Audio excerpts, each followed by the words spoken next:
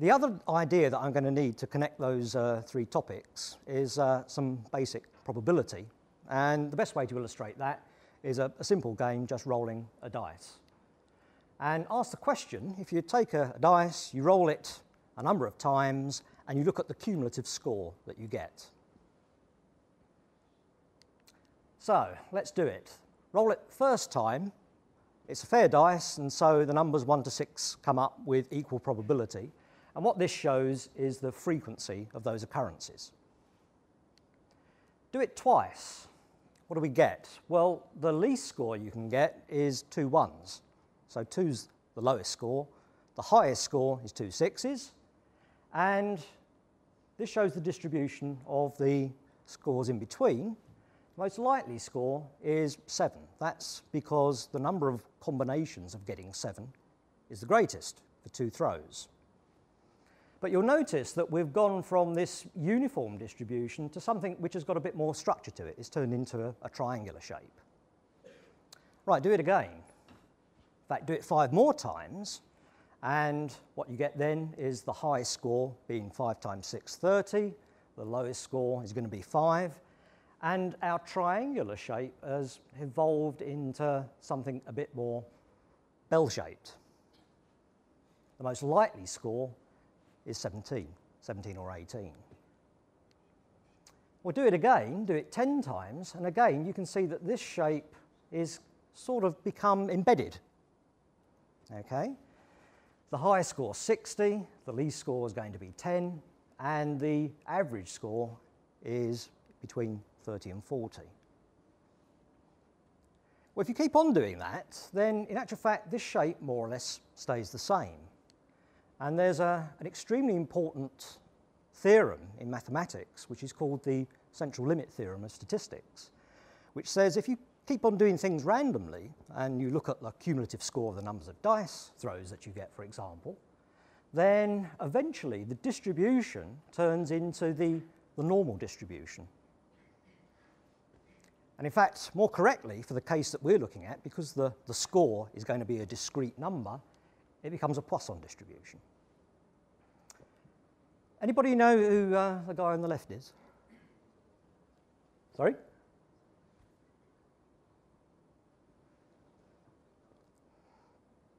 No offers.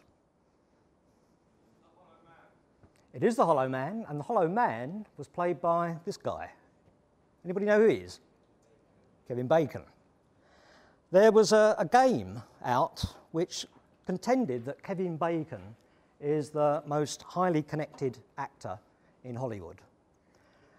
And the game works like this. You pick an actor at random and you try and look at the co-stars that that actor has had and get to Kevin Bacon in the fewest number of steps possible. So there's Kevin Bacon. Tom Cruise, he co-starred with Kevin Bacon in A Few Good Men. So Tom Cruise has got a Bacon number of one.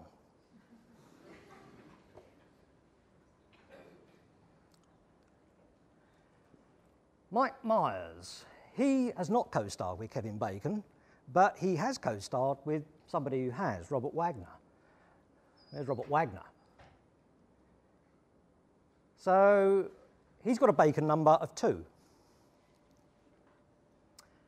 Marilyn Monroe, well, she was dead before Kevin Bacon started making films, but nevertheless, she still got a Bacon number of two because she co-starred with Robert Wagner. And Charlie Chaplin, well, he co-starred with Barry Norton, and that's probably the first and last time you'll ever see Barry Norton. He also co-starred with Robert Wagner. So Charlie Chaplin who again is in the silent era of films, has actually got a Bacon number of three. Only three steps it takes in order to get to Kevin Bacon.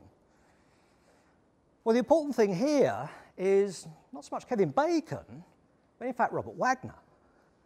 Robert Wagner is the, the hub, if you like, which connects these people together. Now, why is that? Well, Robert Wagner's old. He's made lots of films. Therefore, he's had lots and lots of co-stars. Well, you can play this game with lots and lots of actors, okay? There's a, there's a database out there. So for example, uh, Tom Cruise has also got a, a Kidman number of one. They've co-starred in these films here. Um, he was also Mr. Kidman for a while. But you can look at all the actors and plot the frequency of the number of co-stars it takes in order to connect up those actors.